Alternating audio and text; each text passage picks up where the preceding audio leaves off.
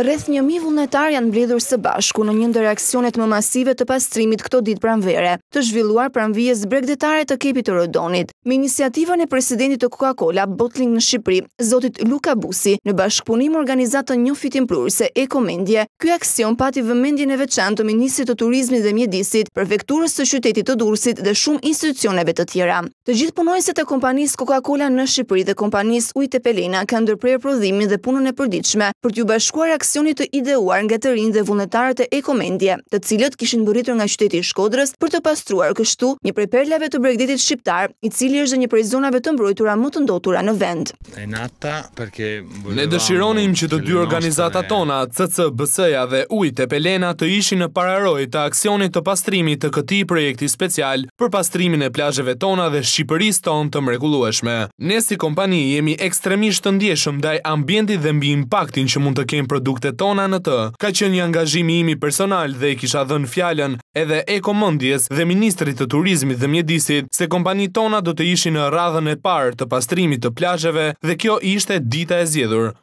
Së bashku me Eko Mendjen kemi arritur të mbledhim vullnetarë nga Shkodra, Tepelena, Tirana, Durrësi, institucionet e mjedisit të gjithë kësaj zone dhe po ashtu të mbështetur nga Coca-Cola kemi grumbulluar një mijë vullnetarë të cilët në një ditë do të pastrojnë plotësisht Kepin e Rodonit për ta bërë atë perfekt për të pritur turistët e huaj që bukurisë të natyrës, bukurisë të trashëgimisë kulturore, kështjellës, kishës dhe gjithë vendeve të atraksioneve që ka kjo zonë,